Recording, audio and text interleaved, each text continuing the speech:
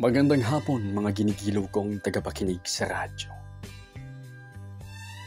Narito na naman po tayo sa isang dula, kwento at istorya ng buhay na inyong maririnig buhat sa isa sa ating mga letter senders.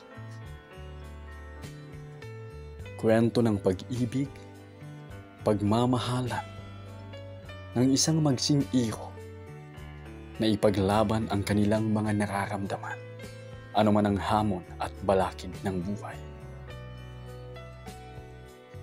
Ang pamagat ng dulang ating isa sa himpapawid sa mga oras na ito ay pinamagatang